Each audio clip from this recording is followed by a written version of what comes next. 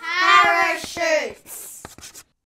Hi, my name's BJ. Welcome to Science Time, experimenting at home. Do you like experimenting? I do.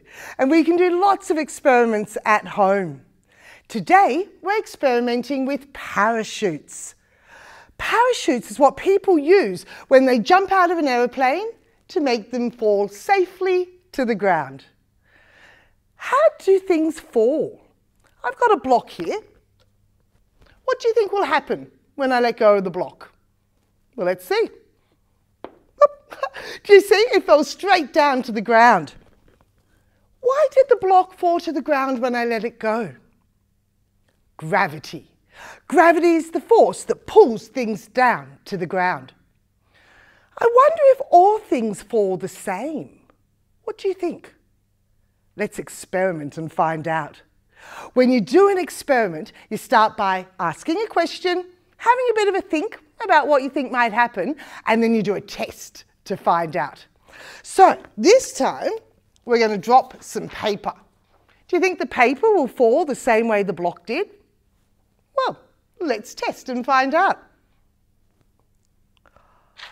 Did you notice the paper fell a lot slower than the block? I wonder why.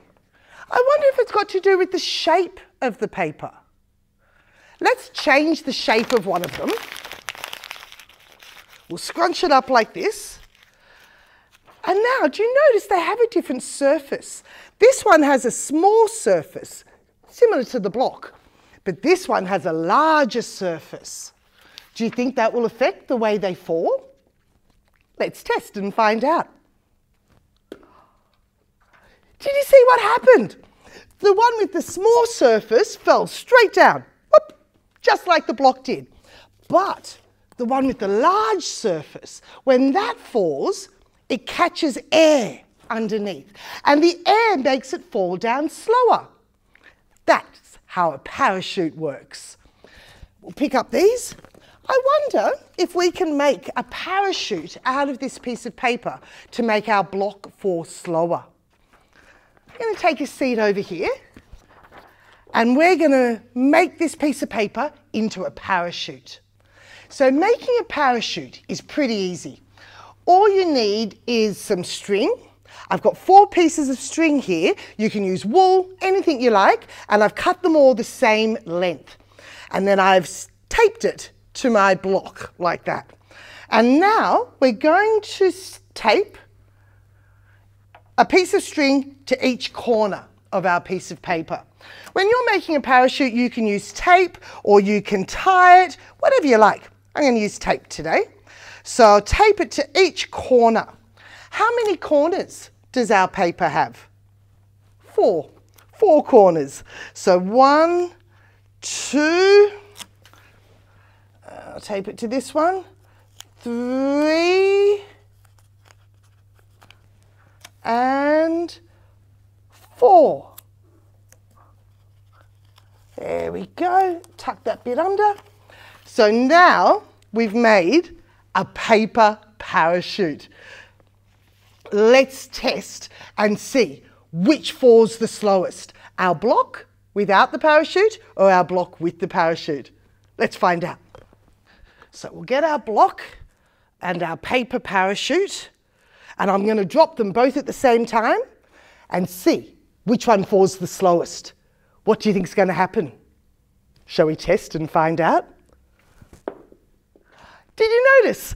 The paper parachute made the block fall slower. Now, we made a parachute out of paper, but you can make a parachute out of all different sorts of things.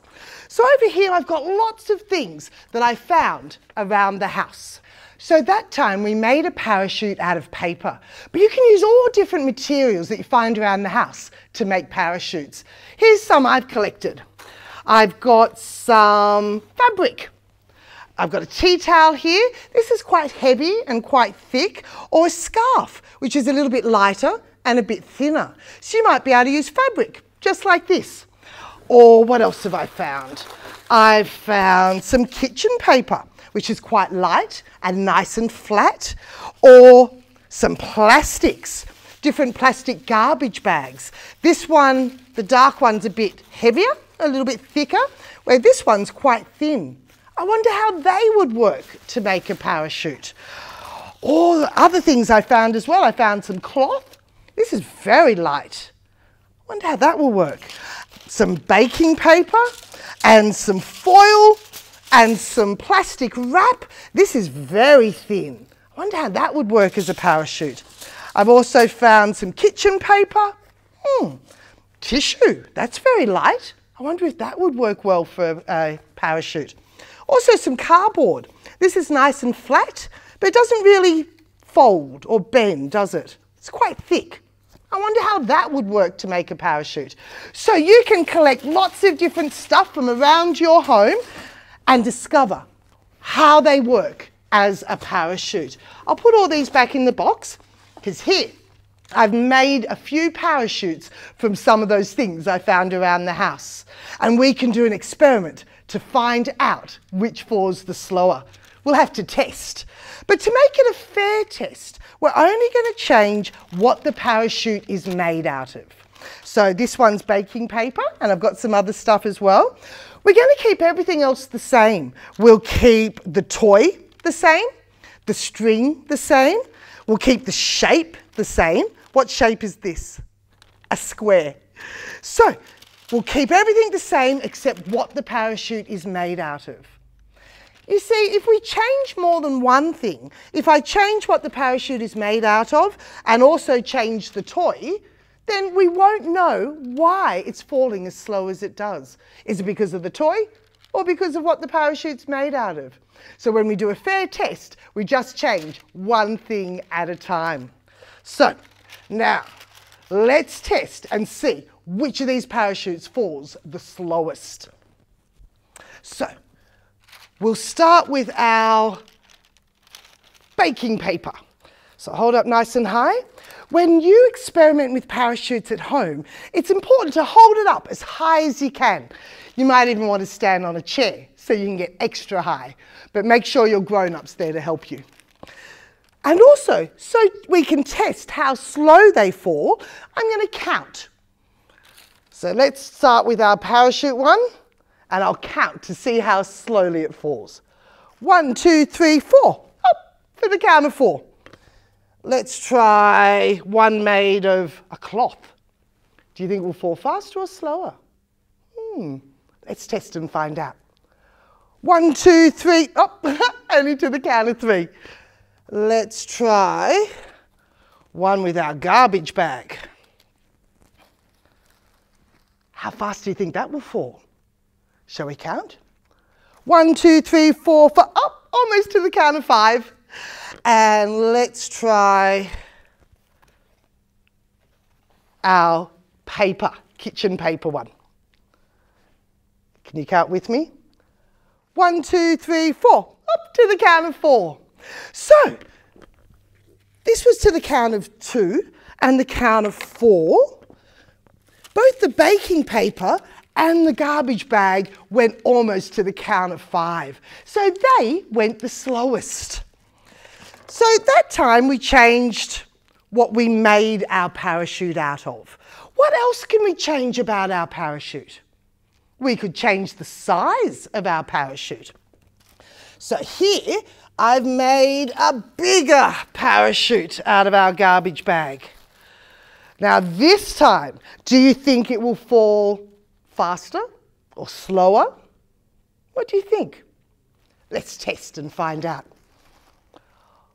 One, two, three, four, five, six. Oh, almost to the count of six. So the bigger parachute fell a lot slower. What else can we change about our parachute experiment? We've changed the material. We've changed the size. Why don't we change the toy on the bottom? So I'll just unwind that one. There we go. This time I'm going to put another block on. So now we've got two blocks, so it's heavier than it was before. Do you think that will change how slowly our parachute falls? Let's test and find out. Ready? One, two, three, four. Oh, only to the count of four that time. So you can experiment with different toys on your parachute as well and see how that affects how slowly it falls. A fun activity you can do at home, you can get a container like this and attach it to the bottom of your parachute. I wonder how slowly it will fall with the container on the bottom. Let's test and find out. One, two, three, four. To the count of four. And now you can put different things in your container, different toys. I'm going to put a block in. Do you think it will change the way it falls? Let's experiment. Ready? We're going to do a test and find out. One, two, three. Up, only to the count of three. So you can put different toys in your container and see how that affects how slow your parachute falls. Now, with our parachute, we've been dropping it. Is there any other way that we could make our parachute fly? Let's try throwing the parachute. So this time, instead of holding it up, I'm going to throw it. So I'll get the block all ready. Here we go. What do you think is going to happen? Let's test and find out. Ready, set, go. Did you see that? It opened up and made the block fall slower. So you can try throwing your parachute, you can try, try dropping your parachute, and you can make your parachute different shapes maybe squares or circles or triangles out of all different materials. You can even experiment with the length of the string as well and the block or toy at the bottom. So much experimenting you can do at home with your parachute. You find a parachute that falls the slowest. Do you think you can make a parachute that falls to the count of three? Or maybe even to the count of five? You can experiment at home and find out. Have you ever seen a real parachute? You might have played with a parachute. We like playing with parachutes at science time. We give it a shake and we wake up the parachute. What's in the middle of a real parachute? There's a hole. I wonder why some parachutes have a hole in the middle. How would that change the way that your parachute falls? That's a good experiment to do at home. You can put a hole in the middle, maybe a small one or a larger one, or some holes around the side, and experiment to see how that changes the way your parachute falls. There's so many wonderful experiments you can do at home with parachutes. And I want to see the results of your experiments. So you can take a video like I have today, or you can take a photo or draw a picture and you can post your results online or you can send them to me by email at Science Time. There's so much wonderful experimenting with parachutes to do. So I'm going to keep experimenting you have fun experimenting at home, and I'll see you next science time experimenting at home. Bye.